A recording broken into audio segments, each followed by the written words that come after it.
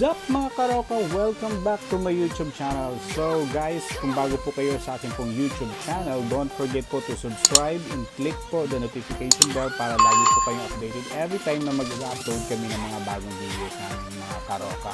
So for tonight's video, uh, we're going to Puerto Princesa City Baywalk. And from here, sa Rizal Avenue, yan, mamaya-maya konti, kung mapapansin nyo, ito na, we are approaching na. Yan na, malapit na. Yun na! Kung mapapansin nyo is napakarami na or mayroon ng banderitas along the main highway. Because yung Puerto Princesa is about to celebrate the Immaculate Conception Fiesta this coming December 8.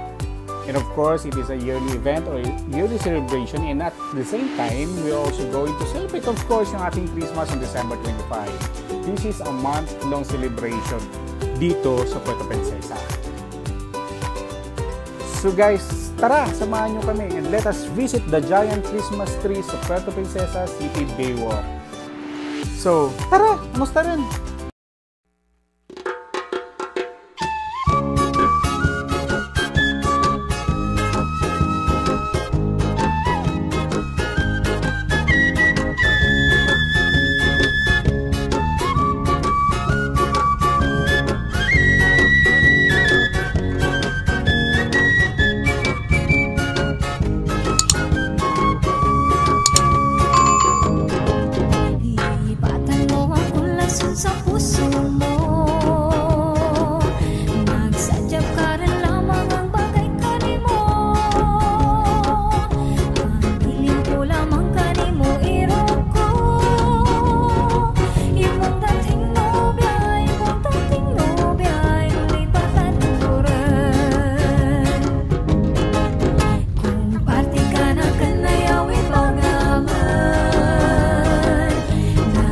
Guys, dito kami ngayon sa Baybay.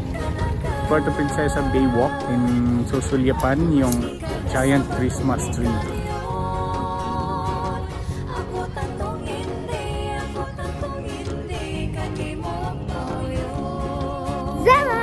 Welcome back to Karaka TV YouTube channel. Kung hindi pa po kayo nakakapag-subscribe, mag-subscribe na po kayo at saka mag-like na po.